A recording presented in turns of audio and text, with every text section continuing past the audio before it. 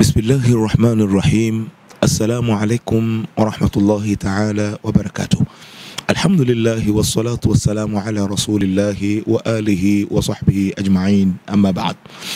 Baada ya kumshukuru Mwenyezi Mungu na kumtakia rahma mtume wetu Muhammad sallallahu alayhi wasallam, leo hii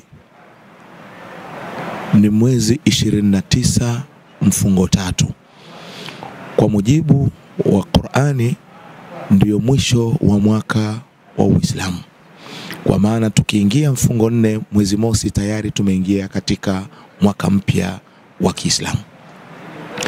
Kwetu sisi tunatakiwa kuelewa kwamba lazima tutumie muda vizuri. Muda ukiwa unaondoka na kuja muda mwingine, lazima ufanye tathmini ya yale yako yote unayoyafanya. Tathmini yako namba one iwe katika kumtii Mwenyezi Mungu Subhanahu wa Ta'ala. Je, unafanyaje kumtii Mwenyezi Mungu zaidi kuliko mwaka uliopita? Ukifanya hivyo utakuwa umepatia na ndio umetekeleza ule wajibu wako wa kuletwa katika hii dunia, na hata vile vile utakuwa umeshughulika sana na Qur'ani, kwani Qur'ani inasema wal asr innal insana lafi khusr illa alladhina amanu wa amilu salihati watawasaw bilhaqi watawasaw bisabr. Wal asr, Mwenyezi Mungu anasema na apa kuhusiana na alasiri, kwa maana na apa kuhusiana na muda. Baadhi ya wanachuoni wakasema Mwenyezi Mungu akatumia neno wal asri.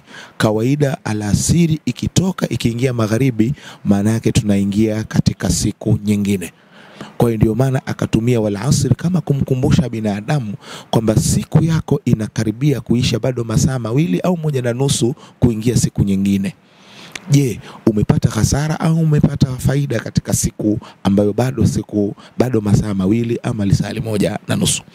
Kwa hiyo Mwenyezi Mungu alipoapia wal asri, ameapia kuhusiana na wakati na hasa wakati wa alasiri, kwa sababu ni mwisho wa siku. Halafu akasema innal insana lafi khusr, hakika mwanadamu ni mwenye kupata hasara.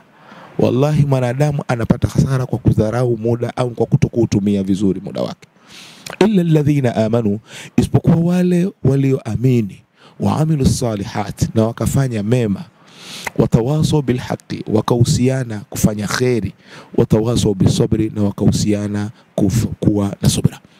Hapa unajifunza kitu kingine kwamba kumbe, ili mtu usipate hasara kupitia muda, basi sharti uwe na mambo makuu manne. Sharti ya kwanza uwe na imani, sharti ya pili utende mema, sharti ya tatu uwe wewe kazi yako kuhusiana na wenzako mambo ya kheri, sio katika mambo ya shari, na la mwisho kuhusiana katika mambo ya subra, kwa sababu mambo yote haya, iman, kutenda mema, kufanya kheri, yote yanahitaji subra sana. Kwa maana hiyo, kwa ufupi tu, sura hii inatupa mwongozo kuwa kwenye kupitia muda ndio mtu anapata hasara, lakini hasara kubwa atapata mtu kama atakuwa hana haya mambo manne. Kwa hiyo lazima kila mmoja wetu atazame mwaka unaisha, je, ameamini vipi mbele ya Mwenyezi Mungu Subhanahu wa Ta'ala? Au mpaka hivi sasa kazi yake anakwenda kwenye mizimu na kufanya shirki, anakwenda kwa waganga wa kienyeji na kufanya mambo ambayo Mwenyezi Mungu hayaridhii?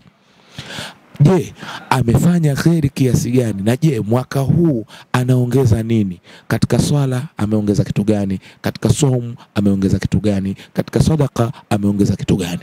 Lakini pia kuhusiana mambo ya haki, yawezekana mmoja wapo akakufata kwa ajili ya umuhusie jambo ama umshauri, wewe mshauri jambo lilokuwa la haki na la kheri. Na mwisho lazima watu tuwe na subira. Mwenyezi Mungu atujalie mwaka huu uwe mwaka ulio kheri. Alhamdulillahi rabbil alamin, wassalamu alaikum warahmatullahi wabarakatuh. Kullu am wa antum bikhair.